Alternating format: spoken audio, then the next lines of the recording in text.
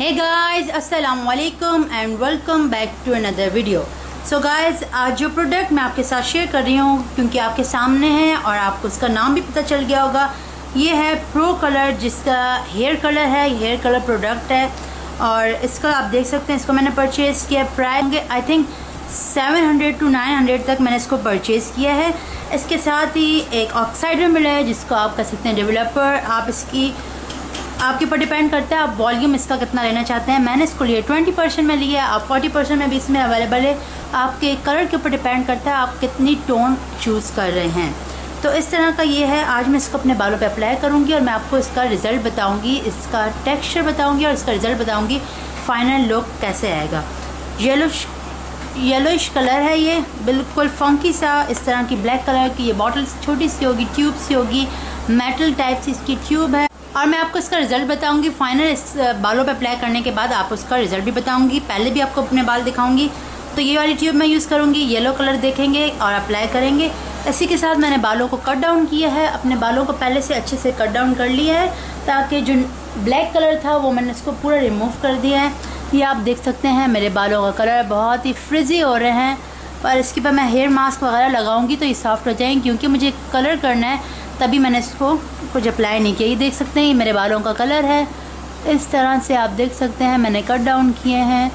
पूरा colour remove हो गया है ब्लैक कलर पूरा रिमूव कर दिया है मैंने। और इसको मैंने कट डाउन किया है।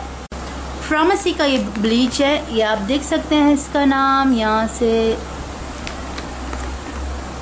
ये मैंने लिया है डॉलमेंट मॉल से मेकअप सिटी से मैंने इसको परचेज़ किया है। ये रहा इसका नाम, ये रहा। आप इसकी वेबसाइट पे भी जा सकते हैं, आप इसको सर्च भी कर सकते हैं। इसका टोटल वेट है 500 ग्राम और मेड इन इटली है ये। इसके मेरे पास और कलर भी हैं हेयर कलर वो भी मैं अप्लाई करूँगी और मैं आपको दिखाऊँगी। तो ये मैंने इसको यूज़ किया कट डाउन करने के लिए क्योंकि ये बेस्ट है। मैं मैं अगर बोलूँगी आपको अपनी तरफ़ से बताऊँ तो ये ब्लीच अगर आप कट डाउन करने के लिए यूज़ कर रहे हो तो बेस्ट इसका रिज़ल्ट है। क्योंकि मैंने क्यूने का पहले अप्लाई किया था तो क्यूने का रिज़ल्ट इतना ख़ास नहीं आया कट डाउन सही से नहीं हुआ। तो उसके बाद मैंने इसको अप्लाई किया, आप रिज़ल्ट दे सकते हैं, सारा अच्छे से रिज़ल्ट आया इसका।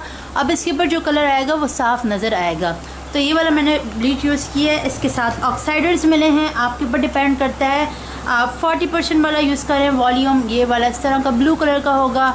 और आप 20 वाला वॉल्यूम यूज़ करें 6 परसेंट इसमें होगा और 60 परसेंट पर भी जा सकते हैं और 10 परसेंट पर भी आप इसको मूव कर सकते हैं। आपके ऊपर डिपेंड करता है तो इस तरह का ये पाउच है, मैंने इसको लेके रखा है। 500 ग्राम इसका नेट वेट है इससे मैंने कट डाउन किया बालों को।